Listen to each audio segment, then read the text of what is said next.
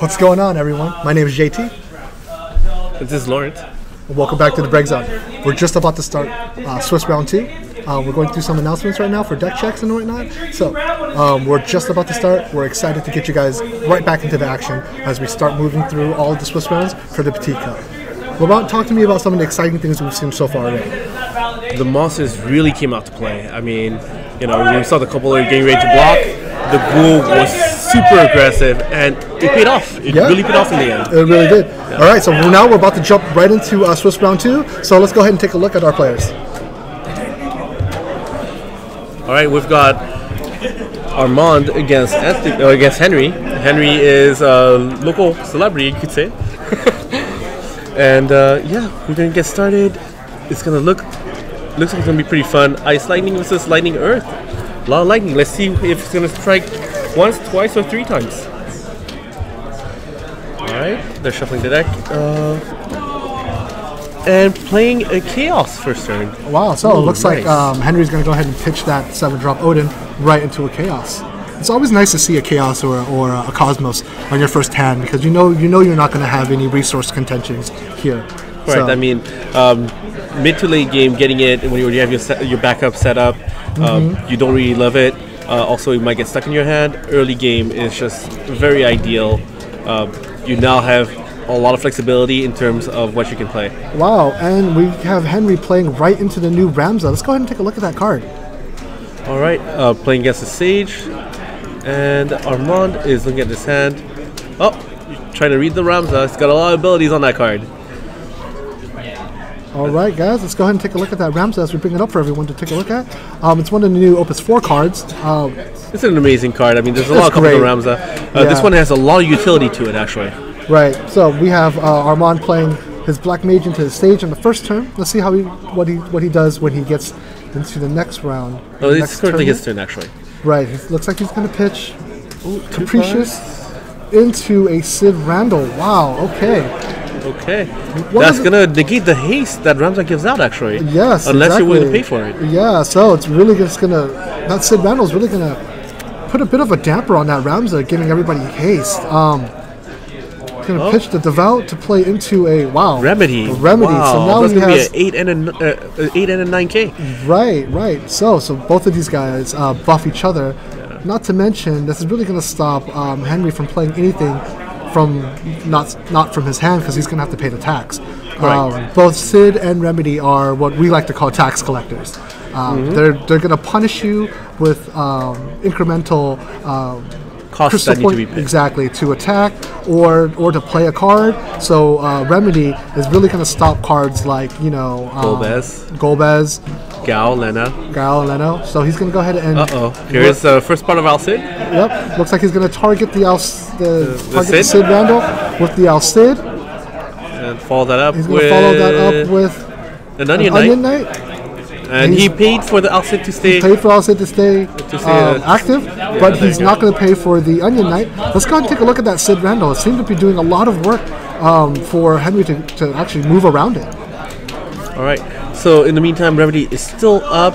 Armand is gonna have to. Is a bit of a.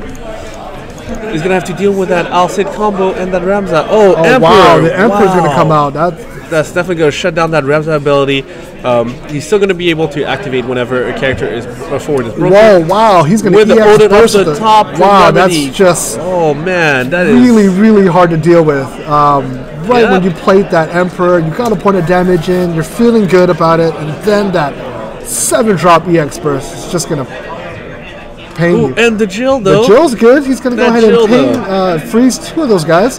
He's gonna go freeze the Ramza and the Onion Knight.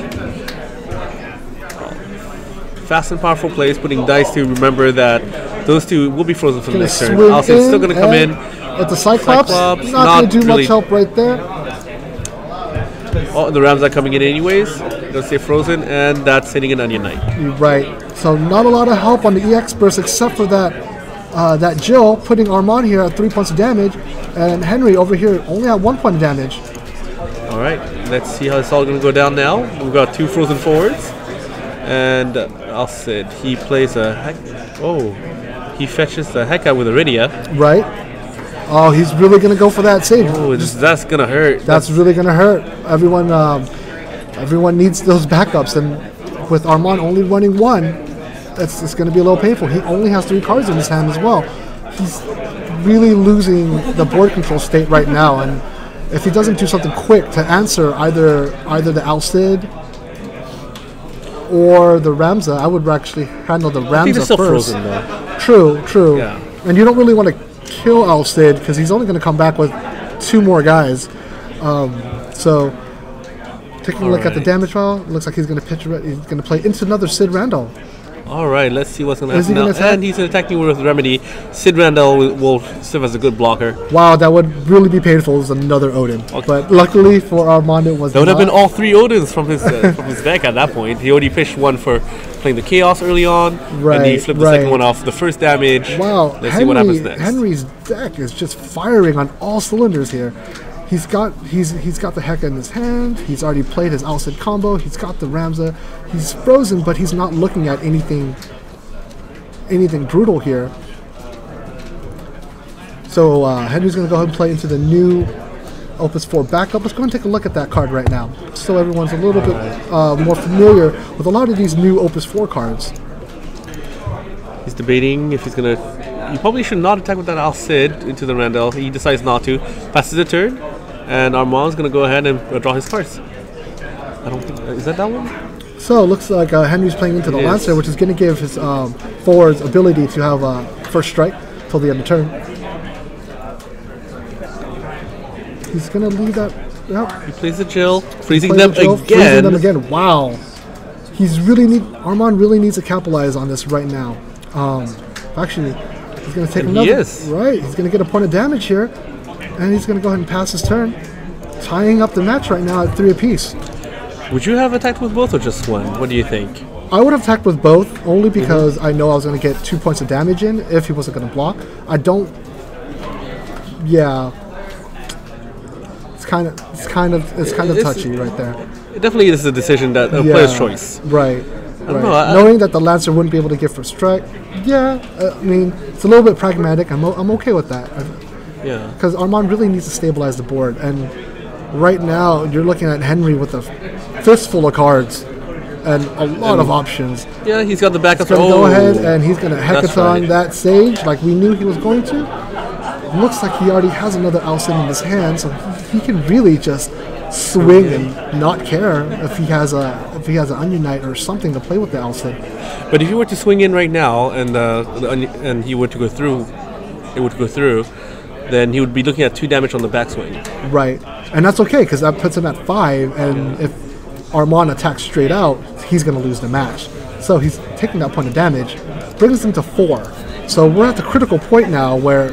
When you have when you're looking at Fatal, wow, he brings out the Angel EV, The arc, uh, the Archangel right there. Let's go ahead and take a look at that card. It's a really, really cool card. Um, it's kind of like Warrior of Light's little sibling. It's got a little bit of Warrior of Light, of two Warrior of Lights actually, the red Right. and the uh, Right. and the light uh, light card card. Um, it's a six thousand power, Mm-hmm. and it would deal two thousand extra pow- uh, damage to uh, when it attacks or uh, or blocks. And also, it will take 2,000 less damage. Right. so characters. dropping the Ark Angel, the EV, is really just going to stonewall Armand right now. I don't see a way he can get through this because he still has to worry about that backswing. Um, Correct. He's going to play into a Kuja. I think he's just using it as a blocker at this Yeah. point. With only one backup, that Kuja is not going to be able to use his That abilities Archangel is going to block almost everything that's going to come at come at her. But Cid could do the job though. Cid, Cid can do the job, But but to what The end? backswing. You don't Ooh. exactly. That backswing is looking very brutal right now. And if I was Henry, I wouldn't even block. I would just take all the damage coming in. Right, right. He goes, takes that damage, brings him up to four points of damage. and that's all right. Let's see what happens this time. Henry's turn, looking at possibly lethal. Again, Henry is just firing all cylinders. He's got cards in his hand. He's playing very, very efficiently. He's got options. Um, he's got three backups, so every play that he makes is um, exponentially more efficient than Armand's cards and play, only because he has the backup line to do so. But also at this point, though, the fours on Henry's side, only Arch- Archangel Elf can really take out the other forwards. Right. The, the other ones that he has, only five or six thousand power, Uh-huh. will not be sufficient in order to take him down. Right. So like, if Henry were to just go ahead and full out attack, um, Armand's gonna have to block eventually because he's Correct. gonna lose the match. But does. Armand have any? Oh wow, he's gonna go ahead and attack. He's gonna enter his attack phase with the Ark Angel EV. Let's see what Armand does. I don't think he wants to block. Right. He's gonna take that point of damage and only block when he has to block. Okay. And let's see what He's Henry feels like doing. five points of damage right now, so He has the option of party attack. He does. He can party attack and swing through, but he has to be careful because he's also at four points of damage. He's going to go ahead and attack with the Al Cid. We know it's because he has another Al Cid in his hand. Blocking right now and losing the Al Cid isn't a good, isn't a bad plan. He's going to hopefully trade with something else. Um, he also has that Lancer to give something for a strike. and all right, looking at his options, still deciding, still in combat phase. What would you do here, Lola? I'm trying to remember off the top of my head what the Ramzat does. Does he have an ability to boost? Let's see. He could give plus 1,000 power. Exactly, and there he does. He's going to go ahead and give yeah. plus 1,000 power to there. He's going to go ahead. Oh no! No, he did. like he did. No, he's just going to go ahead and take the block and swing in with the Onion Knight. And we know that because Oh, he's playing into the fact that he has another Al Cid. Correct. So uh, he's fine. He's going to go ahead and swing in Mm-hmm. and see what the board state is before playing another Al Cid. He's still going to be able to ping the remedy because it's already taken damage.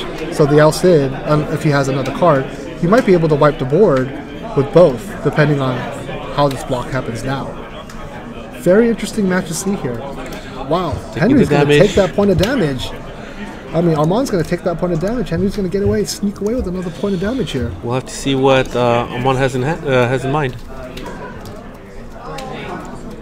Henry's going to have to play something. That backswing, if Armand has any type of tempo, He does. Kuja. he does have. Uh, if Armand, if uh, Henry doesn't play anything else, Correct. Kuja's going to win him the match right there. But it looks like Henry's going to go ahead and He's gonna Alcid, you think? No? Maybe? Oh, No. Shadow Lord. Shadow Lord. There are no twos on the board. No, his own two, Actually. Rams has two. Right. It's going to break all the twos. Correct. Breaking his own Ramza. Uh huh. Wow, what is the play here? Not quite sure. Maybe he It wanted a looks, big enough it looks like Armand has the win here because he has Kuja. He's Well, just going to maybe- dole the Shadow Lord maybe and Henry swing in. in mind.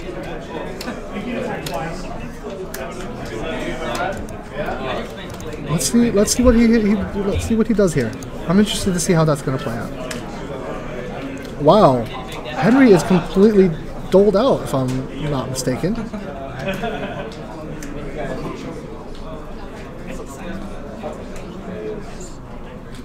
He's gonna go ahead and break that Lancer. No? Nope, he's just Okay, taking a look alright. at it. He is doled out. He is doled out. Let's take a look at this uh, this Shadow Lord that Henry's playing. I'm really curious as to see why he wanted to play this card as opposed to the Al Cid. Maybe he didn't have a second part to the Alcid. This is true. Uh, the Shadow Lord is on the larger side. Maybe he's banking on his EX. That's one. That's, That's two. two. Oh, and that's just not That's enough. three, and there's not And enough. there you go. Armand comes. Armand and comes back and takes it in. Yeah. It looks like that's matched. We're just waiting for the the, the official judge call. to see the official call. Um, that Shadow Lord correct. was not a strong play there. I, knowing that you have a Kuja, you're you're looking at it. Um, you're looking at it. That, that was just think that was a hard match to play. Um, perhaps. Uh, not a good. He yeah. if he had something, if maybe if he had the Oh, the Al Cid into that, um, No, I don't think he had enough the, the right cards to play the Al Cid. Right, right, right. Three backups, a Shadow Lord, and an Al Cid in hand. Right. He was not able to play out the Al Cid. Right, Uh, and- playing and the that- Shadow that Lord Shadow took out his Ramza, and the Kuja Exactly. actually that was Shadow Lord wasn't- after all. huh? Exactly. That Shadow Lord was just not was not the right play because it's gonna it's gonna crack your your, your Ramza, and you needed the extra extra blocker to not take fatal. I don't think he had a choice though. Really? Because Okay. the, because even if he didn't play a forward out and he could only play Shadow Lord, Right. not having the right uh, the right resources to play the Al Cid, then the Kuja would have just doled down Ramza, and at that point it would have been a similar endgame. Right, and so so again, we're seeing a lot of this tempo play, and a lot of a lot of players.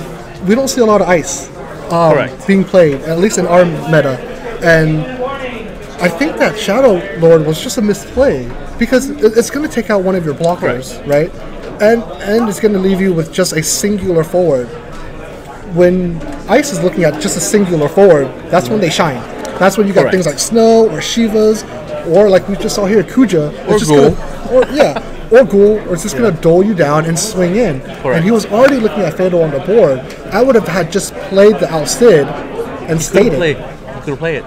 No, no, you could just play the Al Cid He without the could not. combo. Why? He didn't have the resources. Oh, Three backups, one Shadow Lord, one Al Cid. Oh, you right, right. play So the he, Al Cid. he You just couldn't do it. Right, so he had to play that, and there was nothing else he can do. That, uh, but would it would have been okay if he just not attacked. Correct. That would have been that. That might have been one of the stronger plays at that point. Uh, I, I think the arc elf attacking was okay, but the problem is that She's so good as a blocker, though. she is very good as a blocker. Right, right. She would have been able to take on two of them. Uh, at that point, the Kuja Right. would have most likely doled her down and Sure. to town on the other one. So, uh, surprisingly enough, even though it looked like uh, Lightning, uh, the Henry side had the port advantage, it turned out that he didn't. It didn't. And, and, and when you're playing against an ice player, like we saw in the Swiss round one, you really need to be meticulous about what you're doing because ice players tend to think two or three steps ahead because they have to because their guys aren't as strong, aren't as big, and they need to play that tempo to put you in what I would call a checkmate.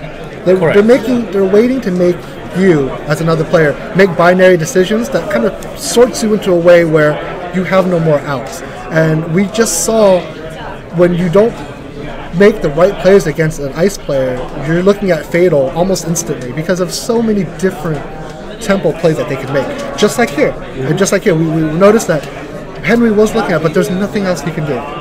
If he didn't attack, that would have been fine. He probably would have made another round and drawn two more cards, maybe played the Al Cid and further stabilized the board. Again, playing aggressive can kind of backfire sometimes, like we saw here. They left him with no, almost no more cards left to play, and he was more or less doled out with nothing else to do. Correct. Right. I mean, I'm trying to think of about a couple lines of play that Henry had in, in it, uh, available to him. Um, I'm surprised he didn't buff the Al Cid and first strike him in order to take out the I was actually wondering why he didn't do that. He left. I don't he know left the would've made a Reza. Uh, activated. Yes. He left it in the activated state and not use it. I think he would have been able to give his Al a thousand and then use his Lancer for first strike, Correct. and then would have made that that change equal. Because what he needed to do was he needed to equalize the forwards on his end. He, he needs to be able to not look at fatal on the forwards on the board. So if he actually attacked with Al Cid, use the Ram's ability to buff, not even first strike, Right. allow Al Cid to break to play his Al Cid later on. Right, He had it there. right. Or or just use the. Lancer to get first strike. But with the first strike, it wouldn't break and reactivate Ramza. That's true. I think that's something right, we right. want, So, want to keep in mind. so a lot of these new cards, they, they, they just add a, a different element of play, and it's great to see how players are using it with the older cards. Um, you know, cards like Kuja, like that we saw before, cards like Snow and, and whatnot. So it's really interesting to see, and I- I'm glad you guys are joining us. Once again, my name is JT. Um, Laurent, Thanks for joining us here at the Break Zone. Stay tuned as we continue our live coverage at the Petite Cup here in Los Angeles. Before we go, we want to give a huge shout out to Square Enix for throwing us an amazing event, as well as the Potion Strikers. It's great to see all these players, all these you know big names coming here to to kind of test the new uh, the, the new build and the new brews for Opus 4. And we're glad you're here joining it, joining us at the Break Zone while we give you live coverage. So stay tuned for uh, Swiss round three, and we'll be back in just a bit.